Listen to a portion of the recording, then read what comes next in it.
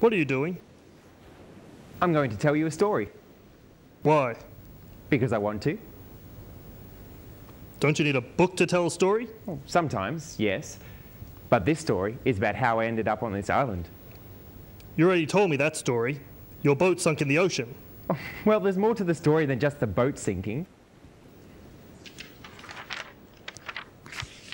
What do you have there? I drew some pictures to help me tell the story to you. My story begins three days ago. Terry, Glenn, and I arrived at the jetty for our fishing trip.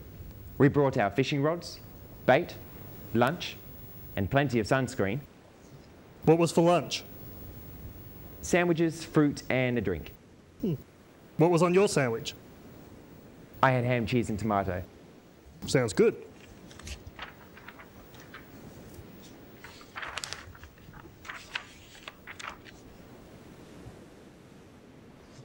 We fished all morning, and Terry was the only one who caught something. But it wasn't a fish. It was an old tire tube. we still decided to keep it though.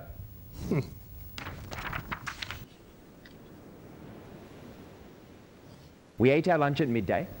However, Glenn was feeling seasick, so he didn't eat anything. Suddenly, Terry felt something nibble at his fishing line. He could tell it was a big one by the weight on the line. You got a bite. Glenn and I helped Terry try to pull the fish into the boat. We all held onto the fishing line as Terry began reeling in the fish. It was really heavy. Oh my.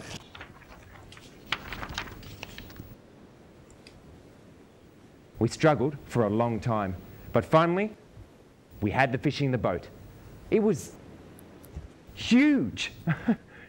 we were all exhausted after catching the fish, and we hadn't noticed that the sun had set.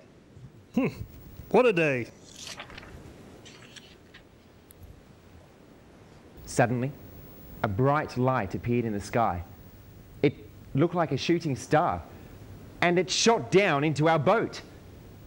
The boat began to leak and sink into the ocean. We didn't know what to do. In the distance, though, I could see an island, and I came up with an idea.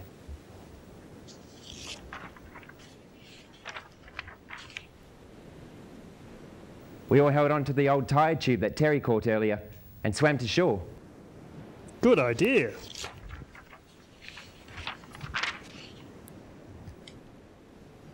On the beach was wreckage from a satellite.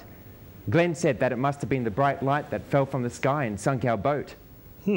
That makes sense. The next day, we discovered there were other castaways on the island who were also waiting to be rescued.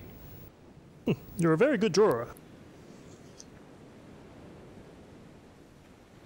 A few days later, I found an alien named Harvey who was also stranded on the island. Ha! That's me!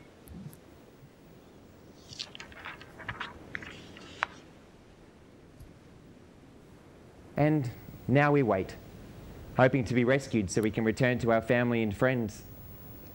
That was a great story. Thanks for sharing it with me. You're very welcome. Well, now it's your turn to tell the story of how you arrived here. Oh no, I'm not a very good storyteller. Oh, just give it a shot. I'll leave the pen and paper here for you to draw on, and I'll come back later when you're finished. oh, I don't know. I've got a lot of work to do. Gotta get the connection ready in. Nathan? Nathan?